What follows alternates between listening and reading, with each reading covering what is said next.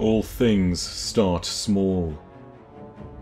Many will perish in this game of existence that we play, but some will rise above others to ensure that their descendants will flourish, and others will find no ground on which to grow. Such is the way of the sword logic. And now, on the surface of Fundament, it had found three new champions. They were born the smallest and most fragile things on that turbulent ocean. But now, they were its masters. They were its conquerors. They defeated the helium drinkers, the ammonite, the leviathan, and even death itself. These were the Crusader princes of the Krill, and their names? Xivu the warrior, Savathun, the trickster, and Auryx, the navigator. But they had been changed. They would be Krill no longer. They would shrug off their weaker flesh and become something greater, something more worthy of ascension. For this would be the birth of a terrible name, a darkness that the universe would remember for eons a darkness that would bite and tear and claw at the fabric of reality. They would be a god wave that would consume all that they found, if not halted. And halt they would not, for their hunger was legend. They had been charged with a sacred duty to reach out across the cosmos and to snuff out the remains of the light. This was their charge as decreed by the worm gods. And it was one that would drive them to the brink of extinction, but one that would be their ascension. For this was the victory of a name, of a king, and of something that would be so much greater, one of the most terrifying arms of the darkness. The birth of the Hive.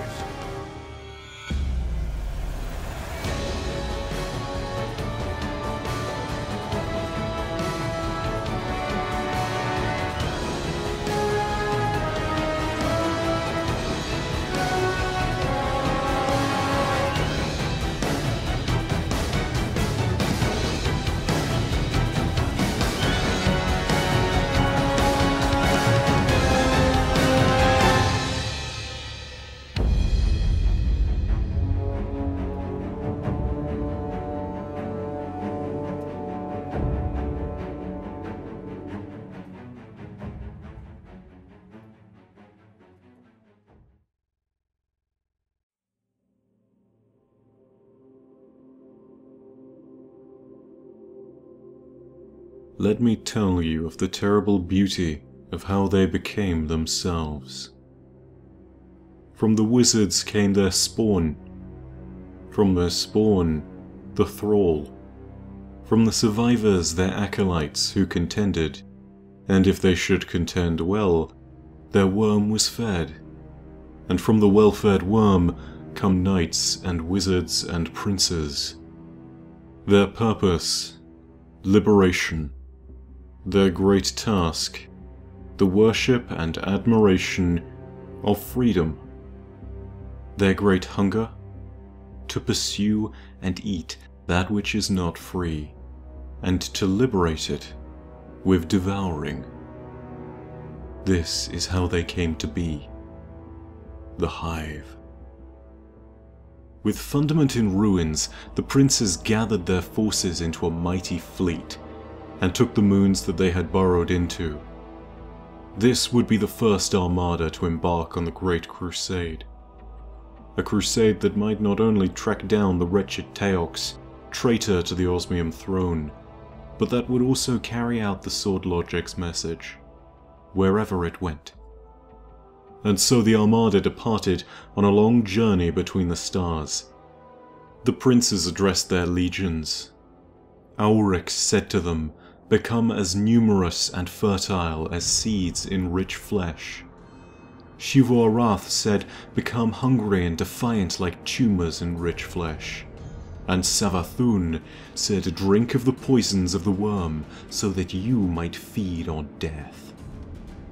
In the darkness between the stars, the princes practiced the sword logic day and night, and became skilled in its applications. As their skills grew, so did the twisted cysts that they left in the universe with each death. It was through these sword spaces that the Hive joined their moons and ferried resources. It is in this wound that Auryx died the first time he had been slain by Savathun, and it was here that he had decreed that he would make his throne, for he was the first navigator, the one that would chant death, and his throne, his throne would be made of osmium.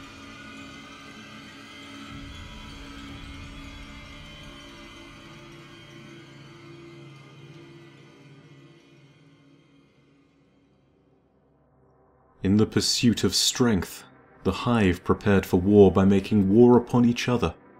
For millennia, in the cold darkness, they practiced their slaughter until they were ready to make war on all of life. With this, Auryx established his court. He named it the High War and dedicated it as a school of the sword logic, challenging others amongst the Hive to confront him within it and earn their place. Savathun looked upon this and made her own gathering to test the sword logic, which she named the High Coven. Xivu Arath had a simpler solution. Wherever there was war, she would find her court, and she would test those that challenged her, for she was the aspect of war itself. And after 20,000 years of melee and practice, the Hive emerged once more to wreak havoc upon the universe. In their first conquests, they were unbreakable and destroyed dozens of worlds with little challenge. Genocide followed in their wake. Then, after much time had been spent plundering the worlds they had conquered, Auryx came to a pause the Hive fleets had just completed the destruction of a race known as the Qugu. Theirs was a species much like any other that had been conquered, imperfect in the eyes of the final shape. They were born with a parasite written into their genome that would force them to sacrifice their limbs to a sessile jaw beast. The beasts, in return, produced nectar, which gave the Qugu marvelous visions when they drank it. Such decadence. Such waste. These things will not be tolerated under the sword logic. And so, the Qugu were freed from their foolish ways. Freed from their existence, in fact. But the Hive were not only practicing the sword logic on their foes. Even now, having prepared for 20,000 years, they continued to practice it on one another still. As they engaged the Qugu vessels, Auryx set upon Savathun's forces, leaving her fleet in ruin. As he strode in the wreckage, he contemplated this act and understood it as an act of love, not hatred. He had destroyed her ships and sent her back screaming to her sword space, but it was helping to bring her to a greater understanding of the perfection that the universe could hold a vision that Auryx believed he understood. But even as in this moment he believed he had found clarity, he was gravely mistaken. And soon, he was greeted with pain. The pain of death, the hunger of annihilation. And he cried out for he knew in that moment that he was no master of the sword logic. He fed his worm with destruction, and it would only grow hungrier, infinitely guttering down to his death at the hands of his very own worm. And with this terrible realization came the next great challenge on the horizon. Farther out across the black reaches of space, military systems whirred back up into action after having been dormant. Finally, once more, they had a purpose. The systems belonged to an empire known as the Ecumene, a vast conglomerate of alien species bound together by their equal desire for progress. And it was at that moment that they had discovered information that would set them on a path to war. They had discovered a derelict ship, floating in space. Contained within was Taox, the one who betrayed the young Osmium princes, the one that Auryx had sworn to destroy. She gave them vital knowledge of the siblings, their strengths, their weaknesses, their tactics, and their motivations. With this, the Ecumene engaged in a campaign of annihilation to save themselves filtering the directives to troops that wherever the siblings were, they should be engaged with all the power they could muster. And at first, it worked. The Ecumene's tactic of maximum theatre overkill was successful beyond their wildest imagination. Auryx, Savathun, and Xivu Arath were weakened and forced to retreat time after time when facing the Ecumene forces. Their end was close, with each of their worms yearning for more destruction, time was swiftly running out. And so the siblings convened within Auryx's sword space to find a solution.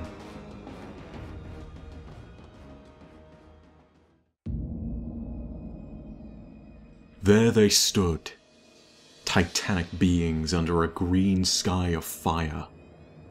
But their embrace was one of weakness they saw their weakness for the first time here. They could not consume enough to feed their worms unless they destroyed the Ecumene entirely. Arath said they should retire and gather their strength. Savathun questioned whether they should instead beg the worms for guidance.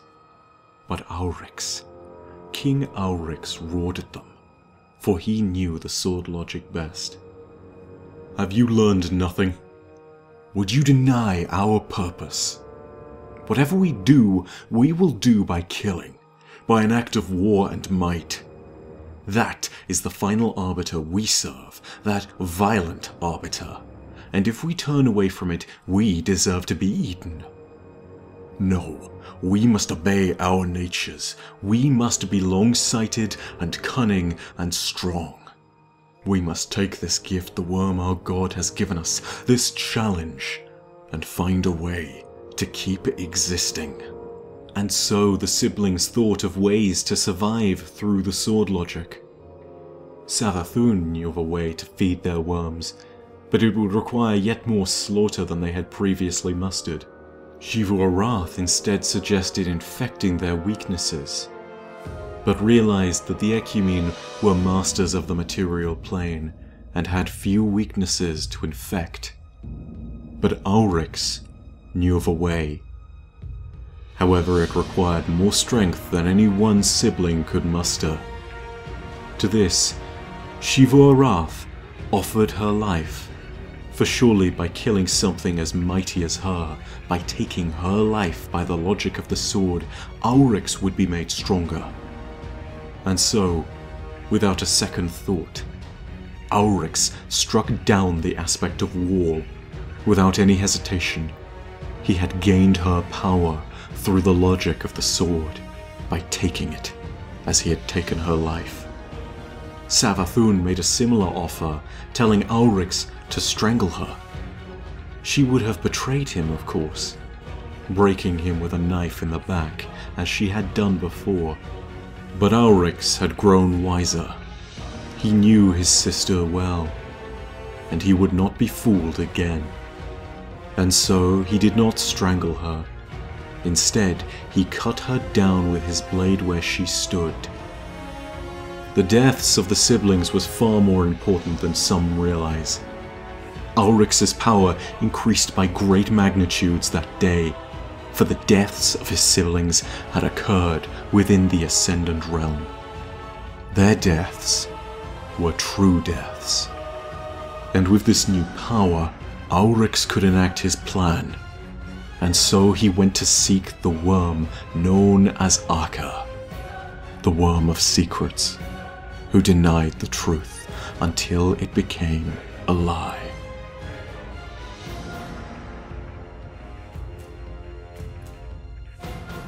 He faced the worm, saying, Akka, my god, worm of secrets, I am Auryx, sole king of the hive.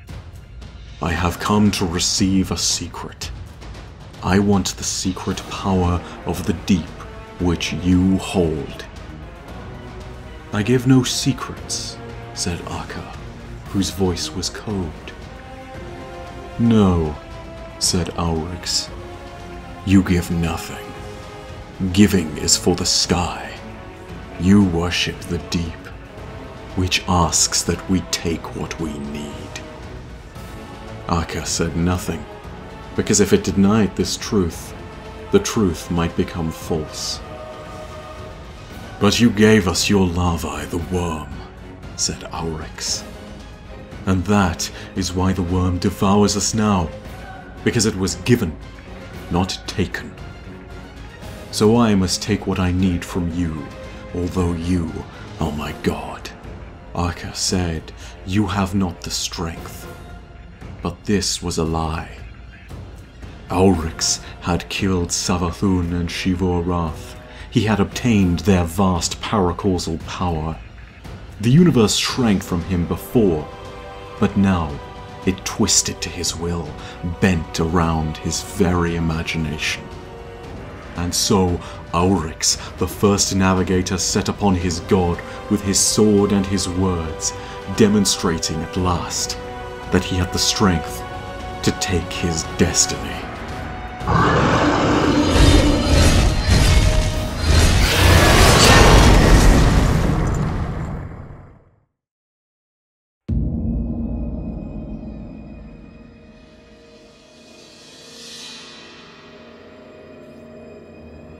He cut Akka to pieces, and took from those pieces the secret of calling upon the deep. He carved this secret onto a set of tablets that he wore around his waist. These would be the tablets of ruin, and would contain the secret to his ascension. When he finished carving, he said, Now I may speak to the deep, the beautiful final shape. I will be the king of shapes. I will learn the secrets of our destiny. And so, for the first time, Auryx focused and communed with the darkness. What was said is not recorded here, but it is known that when he emerged, he was Auryx no more. This would be the final transformation, his final act of ascension. This would be the coronation of Oryx, the taken king. He who would have the power to take all life and make it his own.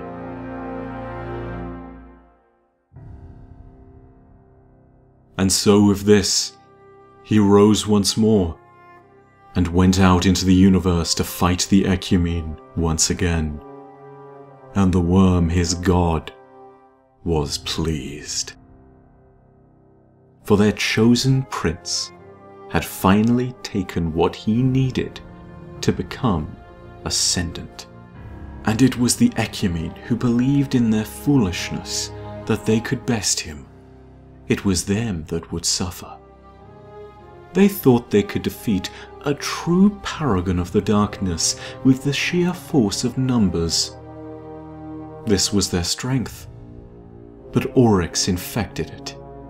He made it their weakness. They would be the first true taken, ripped from the material plane and taken to stand before the darkness.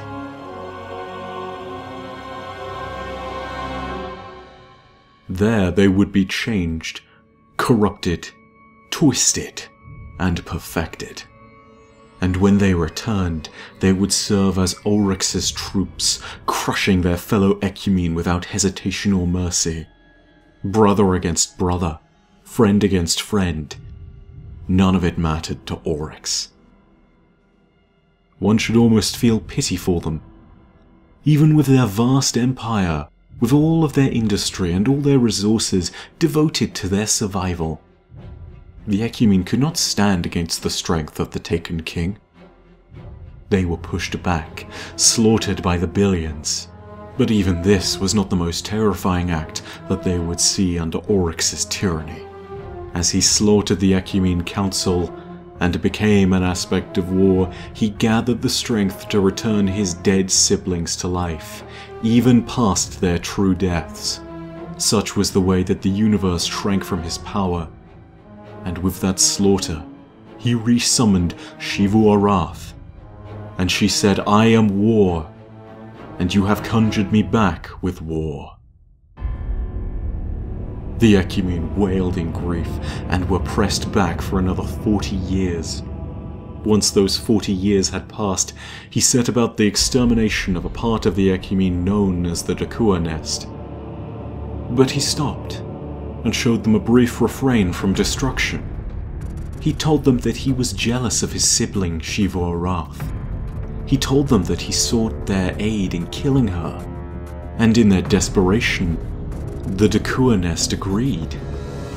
But little did they know that Oryx had drawn them into a trap, and when their fate was sealed, they were made extinct. Through this act, Savathun was summoned back, and said, I am trickery, and you have summoned me back with trickery. After this, the Ecumene fled into the void, and the Hive battled them there for a thousand years. Try as they might, their annihilation was inevitable. Armageddon had found them, and it now had a new name. The Ecumene were decimated so completely that only in these records are they remembered? These records and the mind of Taox, who despite all of the destruction, was still not found.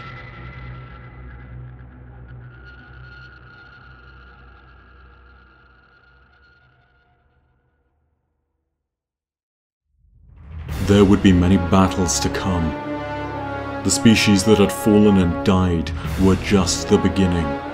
For now, the Hive had found their true sovereign. Their true leader was no longer the vengeful young Aurash or the weak and hungry Auryx. Now, he was one that would lead them through the paths of war to conquer the stars. His name was Darkness. His name was carved in ruin, much as his law. This is now his tale, his word, his sword, his acts. This was his ascension, by the right of the sword and the power of the deep. His name was Oryx, the Taken King.